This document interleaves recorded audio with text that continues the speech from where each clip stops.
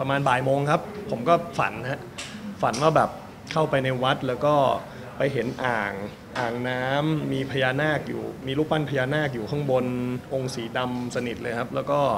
ผมก็เดินในฝันผมเดินเข้าไปใกล้ๆ แล้วก็มองลงไปในน้ำเนี่ยเห็นเป็นเกล็ดเลื้อยฮะในในฝันเห็นเป็นเกล็ดเลยผมก็ตกใจผมก็ตกใจมากแล้วก็กลัวมากในฝัน แล้วก็หันไปมองข้างๆอ่างเนี่ยเป็นเป็นรูปปั้นของคนที่ ไม่ได้ไม่ได้มีอายุนิดนึงแต่ว่าแต่ว่าแบบไม่ได้แก่มากนะครับผมแล้วก็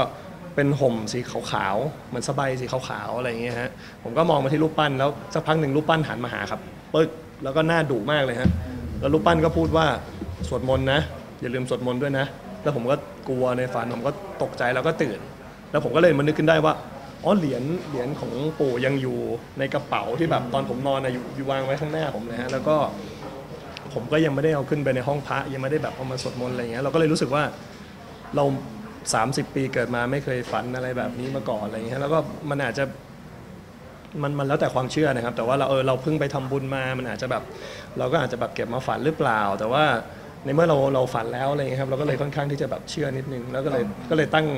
แบบอ่างองค์ปู่ไว้ที่บ้าน